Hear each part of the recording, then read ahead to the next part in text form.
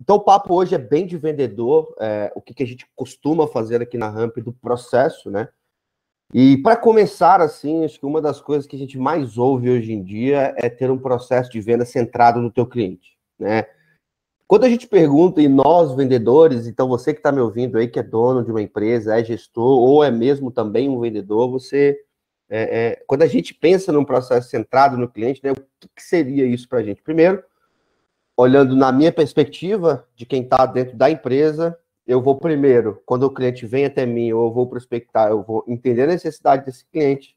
Depois eu vou partir para a demonstração do meu produto ou da, do serviço que eu vou prestar, tipo, pode ser uma consultoria, ou pode ser um produto de prateleira, como por exemplo é o, o, o Hamper, por exemplo. E por fim eu vou negociar e eu vou fechar. Dinheiro no bolso, todo mundo vai feliz para casa, né? Contrato para o braço e chefe feliz também. Só que, na verdade, e olhando para o processo comercial, é assim que o vendedor vende. Mas será que é assim que o cliente compra? Quando a gente fala e a gente está no sapato de quem está comprando, e principalmente numa venda complexa, numa venda B2B, que envolve talvez mais de um decisor, que envolve uma operação do outro lado, o cliente, quando ele vai comprar, a primeira coisa, isso você pode olhar, é, digitar no Google funil de marketing ou funil de venda, você vai ver que tem 357 mil possibilidades de funil de funis diferentes. Mas todos eles derivam desse funil que é o mais é, é o mais básico, assim, é o mais essencial né, do funil. Primeiro de tudo, o cliente precisa entender que ele tem um problema. Sem um problema, ele não, ele não vai avançar para a próxima etapa, que é buscar uma solução. Então, uma vez que eu entendo que eu tenho um problema, eu vou buscar no mercado que pode me atender por fim, entendendo quais são as possibilidades, eu vou tomar uma decisão e aí eu vou comprar. Aqui na rampa, para vocês terem uma ideia, a gente faz, e, e, é importante passar por esse processo com o cliente, a gente faz isso daqui em uma hora, tá? Então, qual que é o, o, o, a jornada de compra e com, quais são os gatilhos mentais que a gente usa durante o processo comercial? Obviamente, para não empurrar uma venda, mas ser natural o caminho da parceria, né? Primeiro, é, e a primeira etapa da, da jornada e do processo comercial, a gente faz muitas perguntas. Né? É importante a gente entender junto com o cliente e fazer principalmente ele entender qual que é o problema que ele tem. E qual que é a melhor forma de fazer isso? Perguntando, coletando informações.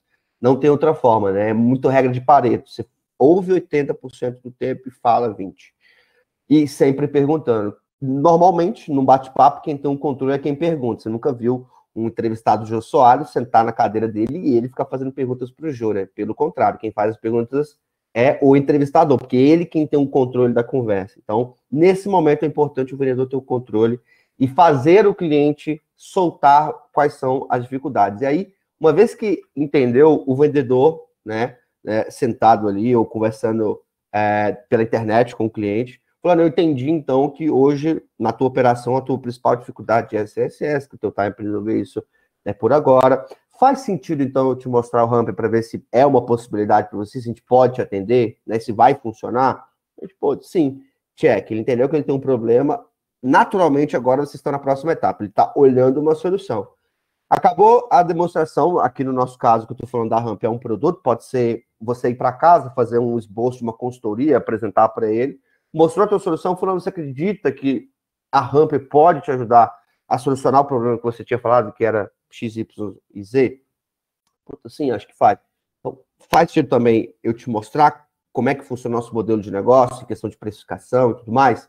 Então, faz sim. Legal, check. Ele saiu de solução e agora ele avançou para a decisão. Tá vendo que não é você quem está empurrando. O cliente, naturalmente, está indo ao longo do processo de compra. E na parte de decisão, né, aí obviamente entra a apresentação de valores, a gente vai passar por esse processo aqui também nos próximos slides, tá? Mas perceba que a forma que a gente vende é diferente da forma que o cliente compra. E uma venda que ela flui naturalmente, é importante a gente entender como é que funciona essa jornada e o vendedor é, guiar o, o cliente, o parceiro, ao longo desse caminho. E, naturalmente, vender é lidar com objeção. Quem nunca lidou com objeção é porque nunca vendeu. Todos nós que já vendemos lidamos com objeções. Então, imagine o seguinte: quando eu estou diante de um cliente, eu estou apresentando no produto, conversando com ele, imagina que tem um corredor uh, imagina você vendendo para mim, nós estamos diante de um corredor é, com quatro portas, duas de um lado, duas do outro, e uma quinta porta no final do corredor reto. Ao longo do processo, se você estiver me vendendo, normalmente existem algumas portas que, que o cliente, né, no caso eu, vou tentar fugir antes de chegar na porta da parceria, que seria a porta da gente começar, a fechar o negócio. É, e quais são as portas mais, comum que, mais comuns que a gente vê durante o processo comercial? É o que a gente vai falar aqui, e principalmente como que a gente é, trabalha para que a gente é, acorde que nós estamos fechando as portas de objeção para isso não ser um problema lá no final. Aí lá no final, quando eu já mandei proposta, né, o cliente me devolve, ah não, ficou para depois, ah não, tá caro. Ah, não. objeção, melhor do que contornar é evitar. E qual que é a melhor forma de fazer, de fazer isso? É o próprio vendedor tocar no assunto. É o próprio vendedor falar do elefante no meio da sala. Então, é, as quatro principais portas que um cliente tenta sair é, antes de fechar a parceria, a primeira delas é interesse. Você gosta do que você está vendo, você precisa do que você está vendo, é, ou é legal, né? São coisas completamente diferentes. Você precisa disso, é algo muito diferente do que, ah, é legal ter, nice to have, né? É legal ter aqui, mas não é algo que eu estou 100% precisando. Então, é importante validar o interesse do cliente, é, principalmente o interesse em resolver o problema, não necessariamente só o interesse de comprar uma solução. O preço, é que é a mais famosa, tá caro, né? Então, é, é importante validar esse ponto, para isso não ser uma objeção no final do teu, do teu, da jornada do teu, com o teu cliente. Outro que é muito comum, inclusive, é uma grande cortina de fumaça que a gente passa, porque o brasileiro tem medo de falar não, né? A gente não fala não. É, a gente prefere falar assim, ah, poxa, muito legal, muito bacana, gostei muito de você, do seu produto, mas a gente conversou que vai ficar para depois. Quem é que nunca ouviu essa resposta, né? Então, timing, é, inclusive como validar o timing, é, como é, acordar que vocês estão fechando a porta do time para isso não ser uma objeção depois, é importante, a gente vai falar também durante o material aqui. E por fim, credibilidade. É, antes de comprar o teu produto, o, eu o, ou o cliente, ele compra você, ele compra a sua empresa. Então é importante validar se a credibilidade, se é, a sua empresa é preenche os requisitos para ser é, um potencial fornecedor para o teu cliente. Então é importante validar. Isso quem passa muito por, pelo ponto de credibilidade também são, por exemplo, startups que acabaram de começar, que prospectam grandes empresas, né? Uma grande empresa, principalmente se for um serviço de muito, muito sensível, né? É, pela qual, por exemplo, a startup ou a empresa jovem ela, ela, ela oferta, grandes empresas dificuldade de contratar empresas muito pequenininhas, que acabaram de assim. Então, é importante, é, nesse caso, a gente vê muito claro que credibilidade torna uma grande objeção, certo? Então é importante porque, ao longo do processo, se você, durante o processo comercial, ir validando que essas portas estão fechadas, ou seja, precisa, o preço está ok, é para agora, a empresa faz sentido, assim, ser uma fornecedora, quase que não vai ter porta mais para a pessoa, né? Lá depois, lá no final, falar assim: ah, não, não vamos fechar por causa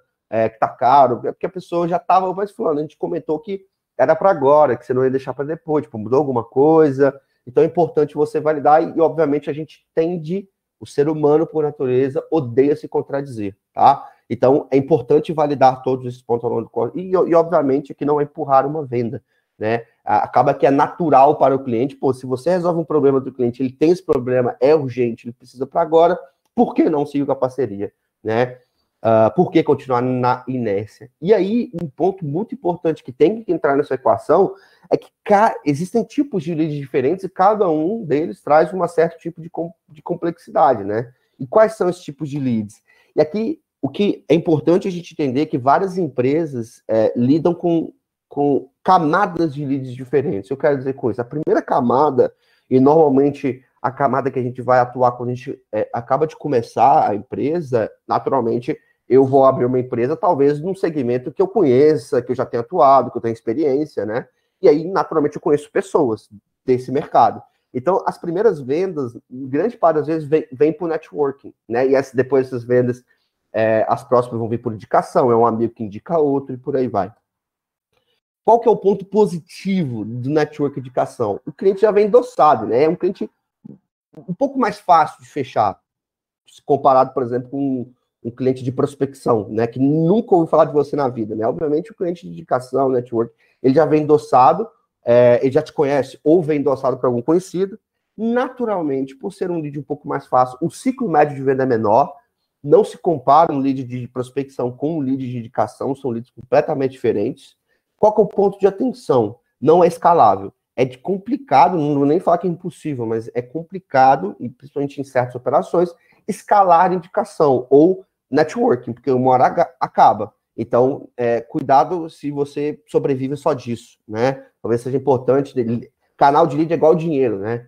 É, você não bota todo o teu dinheiro na poupança ou tudo na, ou tudo na, na bolsa de valores, né? É importante diversificar, porque se um der errado, você tem outro ali para segurar. Lead é a mesma coisa. Se um canal está errado, está dando errado, tem outros para poderem segurar. Então, é importante é, esse ponto de observação também. E por que que network e indicação são leads mais gostosos de trabalhar, né? Mais, mais fáceis de fechar? Primeiro, das quatro objeções principais que a gente falou, duas já estão atenuadas. Primeiro, interesse, né? Porque talvez se ele venha indicado por um amigo, ele foi até você.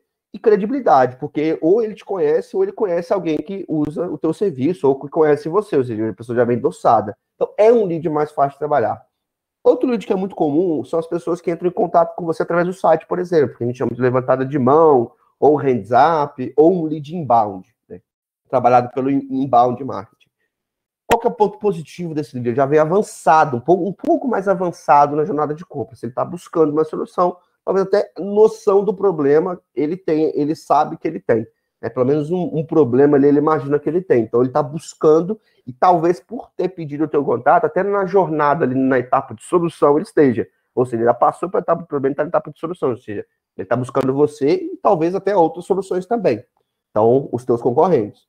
Qual é o ponto do vendedor, e importantíssimo nesse momento? É tornar o problema que está implícito em explícito, em explicitar para o cliente qual é o problema. Ele tem que falar, olha, puta, eu estou com problema de previsibilidade de venda, eu estou com problema de gestão de pipeline, estou com problema com o meu RH, tô... e, e, e, quanto mais a fundo você for no problema, melhor. A gente vai falar sobre isso também nos próximos slides, mas o papel do vendedor aqui é muito importante, ele, ele conduzir o cliente e fazer ele falar e explicitar. Ponto de atenção, é, é, complicado escalar uma operação de leads levantada de mão só com um lead qualificado, né? Sempre tem um lead que é, não é tão fit assim para o teu negócio, então acontece. Uh, muitas empresas têm a, a, o pré-vendedor para qualificar antes de passar para o time de vendas. Aqui na Ramp a gente é, não tem mais pré-vendedores, então a gente conseguiu fazer uma qualificação via marketing mesmo no nosso site para esse tipo de lead. E por que, que é um lead também um pouco mais fácil de se lidar, um pouco mais com taxas de conversões até um pouco melhores? A objeção interesse é atenuada, porque o lead já veio até você, né? Marketing fez o trabalho e a pessoa veio até você. Então, daquelas quatro, perceba que uma já está atenuada. O lead network indicação, duas estavam atenuadas. E agora a gente entra né, na terceira, obviamente não é o, são os únicos três canais de lead, mas são os três que a gente vai citar aqui, que é o lead prospecção. E é um lead mais difícil de lidar, com certeza. Qual que é o ponto aqui? Por que, que ele é difícil? O vendedor tem que fazer o cliente descobrir, o vendedor tem que despertar e tornar o problema explícito no cliente. Às vezes, nem o problema ele sabe que ele tem. Então, naquele funil que a gente falou de problema, solução e decisão, nem ali ele está, ele está antes, ele está lá em cima. Então, ele nem entrou naquele funil ainda. Então, é importante o vendedor fazer toda a jornada lá do comecinho até né, o momento do, da parceria. Qual que é o ponto positivo? Prospecção a gente pode trabalhar com filé mignon, que é, por exemplo, uma analogia que o autor Aaron Ross do livro Receita Previsível, que é um ótimo livro, é, principalmente para quem vende no mundo B2B, gestores, vendedores, ele fala sobre lead inbound levantada de mão, como, por exemplo, pescar com rede. Você joga a rede no mar e puxa, o que vier veio. Muitas vezes vai vir um pneu agarrado, uma botina, né? Acontece. É, agora, quando eu quero trabalhar, por exemplo, prospecção é como pescar com arpão. Eu quero pescar baleia. Baleia não se pesca com rede, baleia se pesca com arpão. Vou escolher o peixe, vou mirar e vou acertar. Então, a gente trabalha com filé mignon. Ponto de atenção é mais desafiador. É um lead que é um abacaxi para descascar. É complicado. E por que, que é um lead mais complicado? De todas as objeções possíveis, nenhuma está tendo nada. Ele não conhece você, ele nunca ouviu falar de você. O problema talvez ele não saiba que ele tem. Então, é um lead mais complicado, sim, e a gente tem que ter noção disso. E um ponto que a gente tem que ter ideia é, conforme a dificuldade vai aumentando, né, network indicação, então a gente vê muito, por exemplo, é, donos de empresa, né, só ah, aí o, contrata um vendedor, se vira, vai, vai, vai prospectar, vai bater porta a porta, vai vender, o vendedor não vende, aí ah, mas quando eu vendia, eu vendia mais que você, aí naturalmente você não pode comparar talvez o poder de networking que um dono de uma empresa tem com toda a gama de conhecimento de mercado, com um vendedor que ele acabou de contratar que não tem condições muitas vezes de poder performar, né? Não tem, não tem lista, não tem um software para ajudar, não tem um companheiro, talvez um pré-vendedor para ajudar ele a prospectar. Então, é, são leads diferentes. E a, e a, prospecção, a dificuldade ela é muito mais alta do que é, outros canais. E um ponto importantíssimo é que a habilidade do vendedor tem que acompanhar a dificuldade, né? Então, é, não adianta pegar um, um vendedor super júnior, estagiário que está na faculdade, e ficar pedir a pessoa para prospectar médias de grandes empresas se levam para cima, né? Então, assim, é, vai ser muito complicado. Então, é, é, importante acompanhar. Qual que é a forma mais rápida de falar que a gente vê muitas operações, né? Aqui na Rampa a gente fala com área de vendas de, né, é, é de muitas empresas.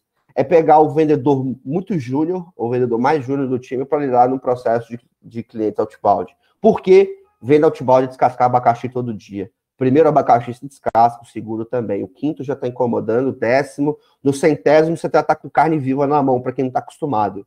Descascar abacaxi tem que ser quem está acostumado, certo?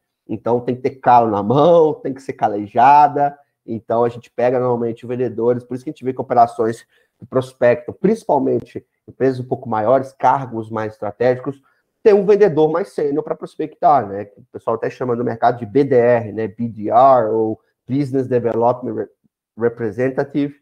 É, é um vendedor de prospecção um pouco mais sênior, porque demanda esse tipo de cliente, ele demanda alguém que consiga bater um papo com cliente de alto nível. E aí, entendendo então que existem as objeções, que existem diferentes tipos de leads, habilidade do vendedor, a gente entra agora e aprofunda dentro do processo comercial. Primeira etapa, então, a gente precisa entender, o cliente precisa entender que ele tem um problema. E aqui entra, na etapa problema, entra alguns pontos. Primeiro, é que a gente tem que descobrir e aprofundar nas dores. Não adianta só, ah, cliente, tá, puta, bacana, mas me conta aí como é que tá hoje a operação. Vai contar, mas o que, que te levou a procurar a gente, por exemplo? Ah, hoje o que me levou a procurar é que a gente tá é, com problema de lead. Ah, tá. Pô, tá vendedor massa, problema de lead. Só que ele não aprofunda. É difícil, são perguntas difíceis, mas é, é, importantíssimo a gente aprofundar, porque senão a gente vai ser que nem o David, né? Quem que não lembra desse lance épico, né? De que o Léo Moura, acho que é o Léo Moura que levou a tarefa de fundo, tocou sem goleiro e ele errou. O vendedor, se ele não aprofundar nas dores do cliente, não perguntar e coletar informações necessárias, ele vai fazer que nem o David, vai mandar proposta, vai chegar no final, ele achando que está fechado, vai bater ali na trave e vai errar. E aí ele cai no gol ali, em desespero que errou esse gol, e, e é isso. Então, aprofunde, não importa, você usa Spin Selling, você usa GPCT, você usa GPCT BACI, Bunch, Challenger Sale, né, venda desafiadora, não importa qual metodologia de venda que você usa. Se você não aprofundar junto com o cliente, em cima do que ele está sentindo, você vai ser o David da história. Então, é importantíssimo. É, e outra coisa, anotar tudo no CRM. Isso aqui eu, eu, eu gosto de mostrar esse exemplo, porque é, isso aqui é uma é um bate-papo que a gente faz aqui na rampa, né? Normalmente uma demo demora uma hora, a gente conversa com o cliente, compartilha a tela, mostra é, a solução, depois fala de valores, enfim, tudo, tudo isso em uma hora. Isso aqui é uma, é uma anotação de alguns minutos, onde a gente começa a reunião já fazendo perguntas, como eu falei, né? Onde a gente tem um pouco mais de controle ali do bate-papo. Se você não anotar tudo, até o respiro do teu cliente fica complicado até confiar na sua memória. Você não vai lembrar de tudo. Por isso que é importante ter um CRM, né? Estamos falando aqui com, com no, no webinar da Zorro, mas é, é, é sem jabá é, e jabares à parte, mas é importantíssimo você ter um, um, CRM, né? E aí, quais são os pontos? Aqui, isso aqui é uma anotação que eu mesmo fiz de um cliente real, foi do ano passado, foi um dos últimos clientes que eu atendi antes de passar para gestão. Ah, aqui são situações, né? Quem é ele, é, como que ele encontrou, porque é importantíssimo você perguntar, mesmo que o cliente venha no teu site, pediu contato, mas como é que você descobriu a gente? Puta, às vezes ele é, ele é um lead levantado de mão, como a gente estava falando, que é um lead um pouco mais fácil de fechar, mas ele, é, ele converteu no teu site porque é um amigo de Incor, aí você vai entender que é um cliente de indicação, que é mais fácil de fechar, entendeu? Então é importante você é, perguntar, obviamente, e aqui tem as principais informações e, óbvio, problema, né? Uh, aprofundado. Ele me falou que não tinha que, não tem previsibilidade. Eu poderia ter parado aí. Puta, legal, previsibilidade, pô, show. Por que falta previsibilidade, né? Ou falta previsibilidade? O cliente precisa dar mais informações, né? a gente aprofundou através de algumas perguntas e o cliente entendeu que para ele ter previsibilidade falta ferramenta, processo, por isso que ele não tem. O objetivo dele, então, é ter previsibilidade. Ele nunca leu o livro que eu comentei, ser previsível. E qual que é o timing para ele resolver a situação, né? Não é o timing para contratar uma ferramenta. Eu errei isso durante muito tempo. Timing não se valida assim, ah, quanto você pretende contratar então um software? Ou quanto você pretende contratar uma consultoria? Não é assim que se valida time. É, ninguém perde sono porque quer ganhar dinheiro, mas todo mundo perde sono porque está perdendo dinheiro. Ou todo mundo perde sono porque tem um problema, né? Ninguém, ninguém perde sono porque a vida tá boa demais. Então, você tem que bater Tá, fulano, quanto tempo mais você consegue viver sem previsibilidade? Ou qual que é o teu time para resolver a situação, né? A situação de previsibilidade. É importante você validar o time do problema, porque problema todo mundo tem urgência para resolver. Beleza? Fechando a primeira porta, time então. Qual o seu time para resolver a situação e quanto tempo, né? Não é quando, quanto tempo mais você consegue viver com a falta de previsibilidade que você citou para mim. O cliente validou tudo isso? Legal, fulano. Faz sentido eu te mostrar então, Ramp, como é que a gente pode te ajudar? Faz, check, solução. O cliente avançou na etapa de compra, então me segue aí. Energia e entonação, é importantíssimo, a gente usa isso aqui na Hamper, é um pouco de PNL, mas problema a gente fala com energia, tom alto, para trazer um pouco mais de ansiedade, né? Obviamente, a gente está usando aqui de coisas naturais. Existe uma regra chamada 55, é, 55 38, 7, se não me engano. 55% do que você absorve do que eu estou falando aqui agora tem a ver com a minha linguagem corporal. 37% tem a ver com o meu tom de voz e 8% conteúdo. Ou seja, conteúdo é muito pouco relacionado a todo a gama que a gente observa em um comunicador. Linguagem corporal e, e tonalidade são mais, muito mais importantes do que o conteúdo em si. Então, o problema, fulano, você citou para mim que hoje tem falta de visibilidade, você comentou comigo que não consegue chegar nos decisores, os tomadores de decisão. Aqui com o Ramp, você faz o seguinte, você vai entrar dentro do LinkedIn, clicar na extensão, pronto. Os teus contatos estão ali, é só capturar. Então perceba a diferença. Problema gera ansiedade, a gente precisa trazer esse, esse incômodo para o cliente e na solução, calma, tranquilo. Olha, seu problema está solucionado. Vem com, né, vem com a gente, bora rampar. Como a gente costuma brincar aqui na Ramper. Então, é, use energia, use entonação, não seja monólogo, senão daqui a pouco tá todo mundo dormindo aqui na, Imagina se eu estivesse falando assim o tempo todo, né? Uníssono, sem variar, sem fazer pausa. Isso chama atenção. Então é importante o vendedor usar tudo isso, principalmente em venda remota. Muito fácil eu pegar o celular e ficar mexendo nele, responder o um e-mail. Provavelmente muita gente que está me ouvindo aqui está fazendo isso agora. Normal. Está no celular, está respondendo e-mail, WhatsApp, está olhando o Instagram e por aí vai. Outra coisa muito importante, está na parede da Hamper provavelmente todo mundo que conhece o Mario, né? Jogou Mario World. O Mario pequenininho, mas a florzinha é o Mario grandão soltando foguinho, né? Matando os inimigos ali. Muito vendedor foca na florzinha. O que eu quero dizer? O Mario pequenininho é o cliente, a florzinha é o teu produto, o teu serviço, e o Mario, fo, fo, o Mario fodão aí é o teu cliente depois que contrata a tua, a tua solução. É, muito vendedor foca na florzinha. Olha, minha consultoria tem isso, meu produto tem esse botão, a gente tem tal feature, a gente entrega isso a mais no nosso custo. Não foca no teu produto, no teu serviço, na tua solução. Não é isso. É, eu não me importo, assim, com a tua solução, com o teu produto que é bonito, com a tua que é isso, que é aquilo. Eu me, eu me preocupo, e nós seres humanos somos assim, eu me preocupo comigo né? Como é que você pode me ajudar? Então, vendo os benefícios. O que que o teu cliente vai ter ou vai ser ao seguir a parceria com você? Então, foque, não foque na florzinha, foque. Quando a gente começa a ver aqui na rampa, então, o vendedor falando de mais do produto, a gente fala, ó, lembra do Mário. Aí vendedor, não, beleza, beleza. Aí já volta. Então, não foca em feature, não foca em, no teu produto, no teu serviço, foca no ganho do teu cliente, nos benefícios de tudo isso, tá bom? Fechando as portas de credibilidade e interesse. Então, ao longo da jornada, perceba que a porta de timing, a gente já conversou sobre ela. Eu já fiz o cliente sinalizar, ele me falou que era para agora, que era para ontem. Esse problema, pelo amor de Deus, eu não posso viver mais com esse problema, que eu posterguei demais. Beleza. Então, não vem lá no futuro, lá na frente, me falar que você não vai fechar por agora, porque você decidiu esperar. Se for que não podia mais esperar é, é, para resolver esse problema.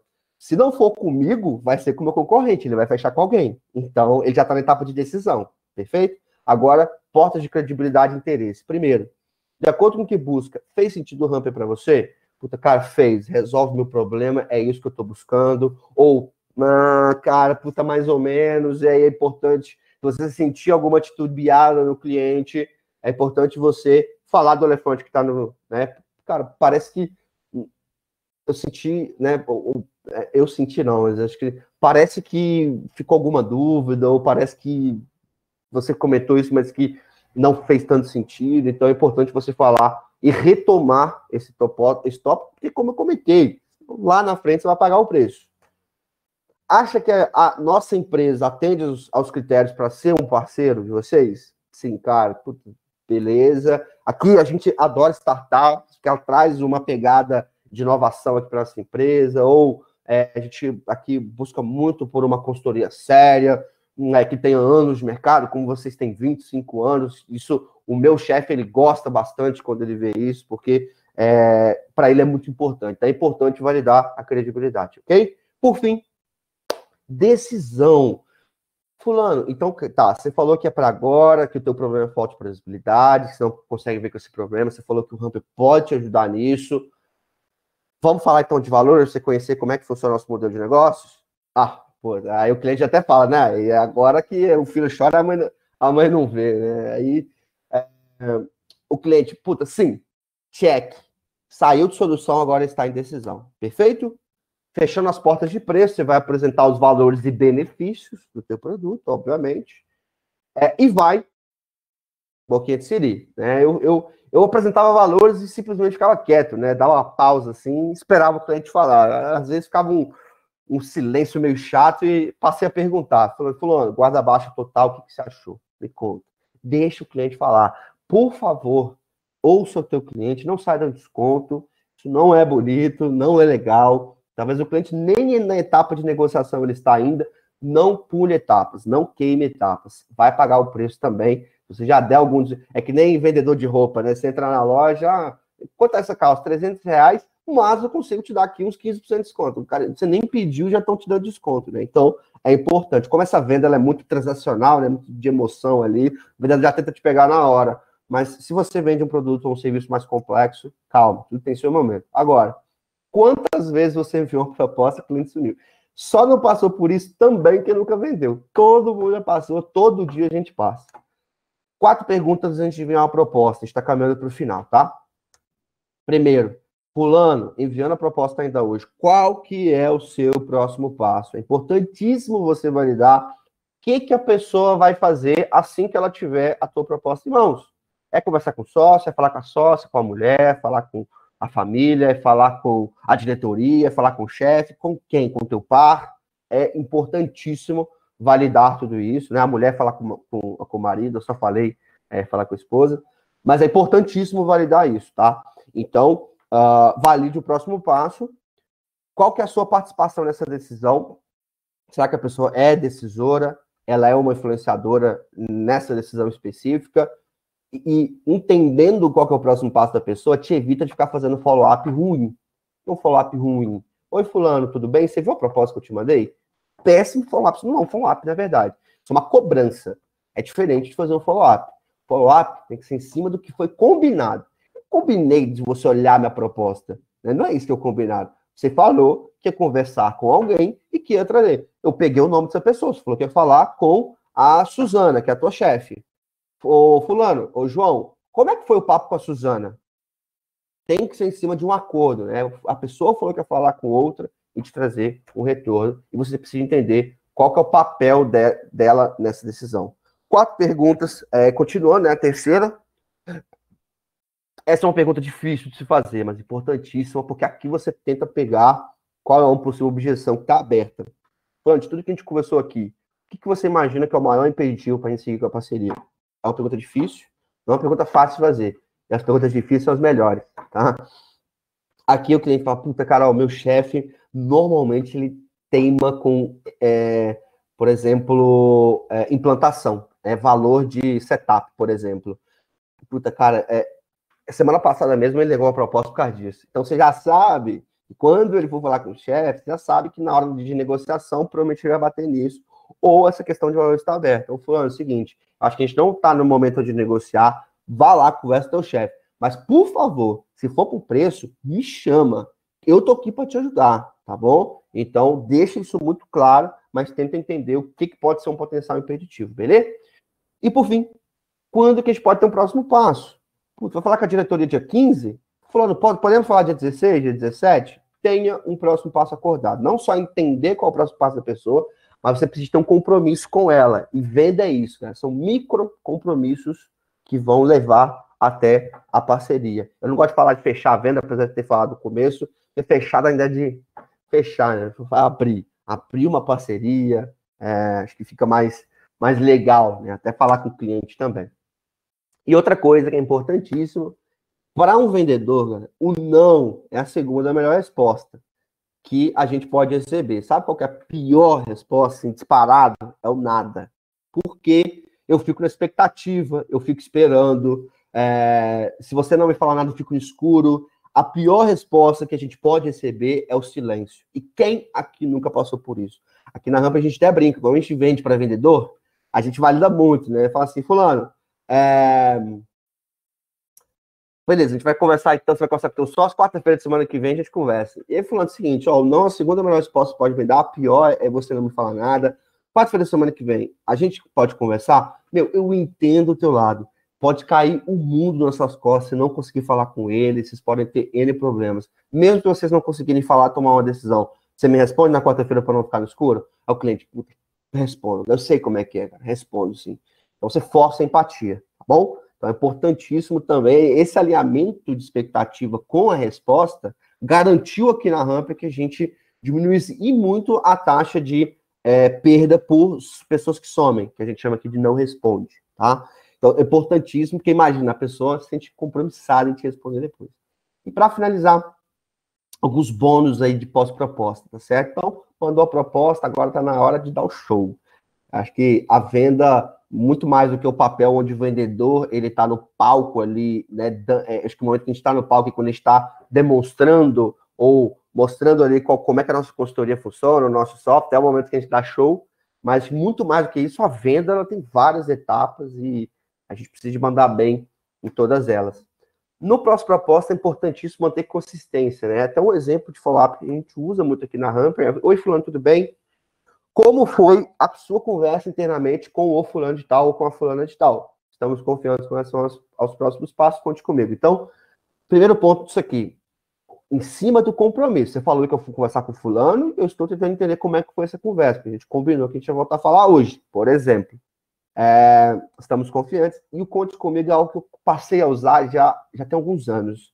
É, eu percebi que abraços é um é, é, é, algo que finaliza a conversa. Tipo, se, se, eu te mandar uma mensagem no WhatsApp, eu falando isso aqui, isso aqui é, e mandar um abraço final, quer dizer que, puta, tá, é, principalmente no, no, no, WhatsApp não é muito comum, imagina a conversa. Oi, fulano, tudo bem? Abraços. Ah, tô bem, e você? Abraço. Onde você vai almoçar hoje? Abraço. Vou almoçar, faz quase maluco.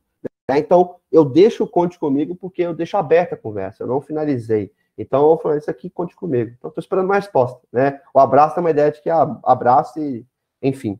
É, é um requisito que eu já uso há um bom tempo e costuma funcionar bem. Então, esse é um primeiro follow-up, algo que a gente usa com muito. Algo que a gente usa bastante aqui também é o follow-up com valor, ou seja, não é aquele follow-up chato, simplesmente fazer follow-up uma cobrança, né? Mas é algo que retoma o que foi conversado. Fulano, é, estou tentando falar com você nos últimos dias, mas imagina ser corrido. Imagina você tenha tentado falar com a pessoa umas três, quatro vezes, ela não te respondeu ainda. Você comentou sobre a sua dificuldade de previsibilidade, né? Então, lembra daquele camarada que eu, que eu, que eu conversei? O que então time para resolver isso é para agora. Por isso, vimos me sentindo a parceria. Pode ser que algo tenha mudado de lá para cá. Se resolver isso de alguma outra forma, Lembra que ele estava na etapa de decisão. Se ele não fechar com você, ele vai fechar com o teu concorrente. Ele vai procurar uma forma.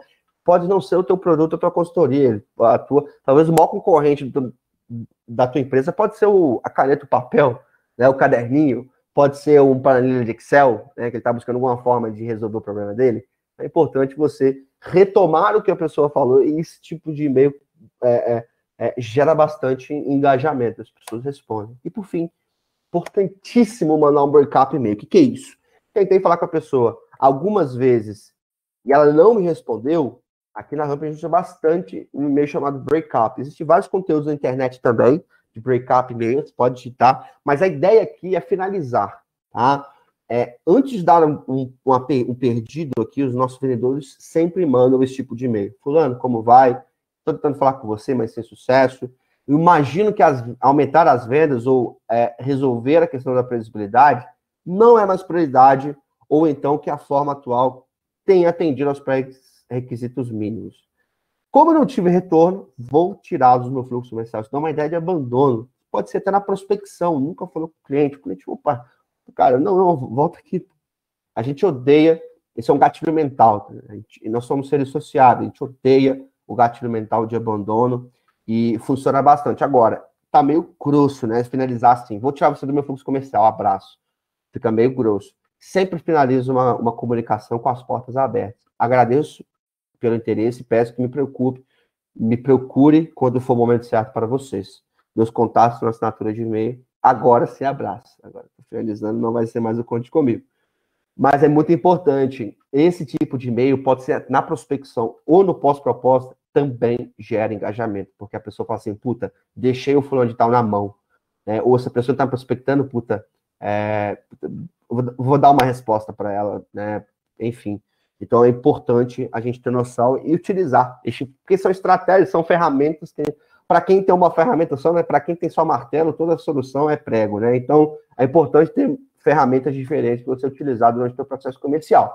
E por fim, a negociação, né, por fim do bônus, a negociação de, ela é uma troca, não deve ser, ela é por essência. E se você não tratar a negociação como uma troca, você vai pagar o preço também. Então, o que eu quero dizer com isso? Fulano me pediu uma condição e é, o cliente, por exemplo, ele vai e ele volta. Fala assim, fulano, o que, que você consegue fazer para mim? Se eu simplesmente falar assim, fulano, então, consigo 10%, faz sentido? Hum, ele vai querer mais. Ah, não, o que, que você consegue mais aí? É importante que seja uma troca. Eu vou ceder valor, eu vou ceder aqui do meu lado, mas eu preciso também uma troca, eu preciso de um compromisso teu. Fulano, se eu conseguir chegar em 10%, a gente segue com a parceria? Essa semana? Cara, puta, cara, não, então vamos fechar em 12,5? Beleza. Se eu chegar em 12,5, vou no meu financeiro.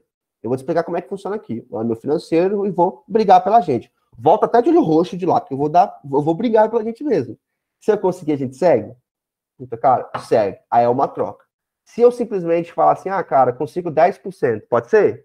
Ele sempre vai querer mais. Então, você não está tratando a negociação da forma que ela deve ser tratada, que é uma troca. Tá? Então, o cliente me pediu uma condição, final do mês, 28 de novembro, 5 h 20 da tarde. É, se eu chegar nas condições em cima do onboarding, a gente segue até amanhã para começarmos agora em novembro, fechado, pronto. Meta batida, eu lembro que foi esse dia que me fez bater a meta em novembro do ano passado. E porque se eu tivesse simplesmente falado assim, ah, pronto, consigo isso aqui, pode ser? Aí, né, não é um compromisso. Então é importante sempre tratar dessa forma. Três características do vendedor top performance, o último slide. Primeiro, demo matadora. O que é uma demo matadora? É conectar o teu produto com o problema do cliente. A tua solução com o problema. É isso que é uma demo matadora. Não adianta só focar no, nas features, focar nos botõezinhos, focar na, nas características da sua, da sua consultoria. É importante focar nos benefícios e concatenar muito bem o que o cliente precisa com o que você entrega produtividade e organização. Por natureza, nós, vendedores, somos desorganizados, a gente é muito executor, de ir para cima, tornando tudo no peito, e às vezes a gente vai lá para o CRM de um vendedor, ou para onde quer que ele organiza os seus dias, pode ser uma planilha, um Trello, enfim, a gente tem que estar tudo desorganizado. Né? Então, é importante se manter produtivo, e para ser produtivo é importante ter organização. Levanta de manhã, arruma a cama, já começa o dia fazendo algo bom, é, já começa o dia com, com, com com o pé direito, né? Você não sabe o benefício que arrumar a cama né, faz com a gente. Então, é, mas brincadeiras à parte, é, para ser produtivo é importante ser organizado, isso é uma característica do vendedor top performer e, obviamente, follow-up. Não é cobrança, bons follow-ups. E ter, dominar essa arte é muito importante. Beleza? Então é isso, galera. É, o conteúdo que eu tinha para passar, eu agradeço demais, de novo, novamente, mais uma vez, o convite aí, o pessoal do CRM7, de participar aí dessa semana. E aqui estão os meus contatos. É, e-mail zero meu inbox todos os dias, o tempo todo eu estou ali arquivando meus e-mails zerando, então eu processo o meu, o meu, o meu e-mail todos os dias. E LinkedIn, confesso que eu não sou a pessoa mais é, o que usa, é, que responde, enfim, que eu não sou tanto de redes sociais, mas eu estou lá também, então se quiser me encontrar, Vinícius Amanso, simples assim.